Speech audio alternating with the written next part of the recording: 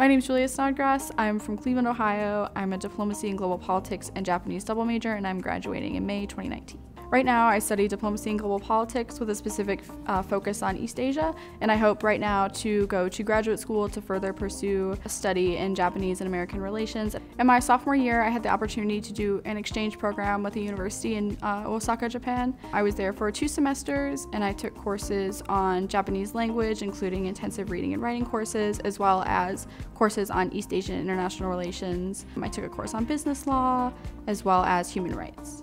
I think studying abroad just in general changed me as a person, being in a situation where I didn't know anyone, I knew the language, but not really enough to be confident in speaking it that being able to connect with people of different cultures is the key to maintaining um, good international relations.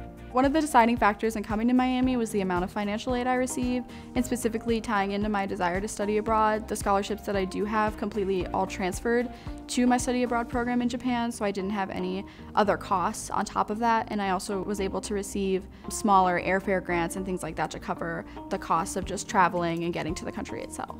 Without the scholarships I received from Miami, I probably wouldn't have been able to study abroad at all. And studying abroad was such an integral part of my Miami experience. I'm really grateful for the opportunities that I've been afforded through my scholarships because without all of them, with my undergraduate research or my study abroad experience, I don't think my Miami experience would have been the same overall.